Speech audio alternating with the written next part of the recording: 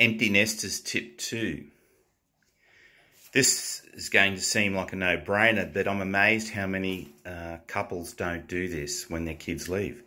Spend more time together as a couple. Now you might say, but David, I don't want to spend time with the other person, you know. I don't know them anymore, we're distant, da da da da da. Okay, I get that. But here's the thing. You now have an opportunity to create a new relationship. It's your choice. Start doing things together. Maybe take up a hobby together. Join a club together. You need to start doing things together because you haven't been really doing that with the kids there. In fact, for, for a lot of people, actually spending time with the other person for more than an hour or two hours without any kids around is actually weird because that hasn't happened for the last 15, 20 or 25 years.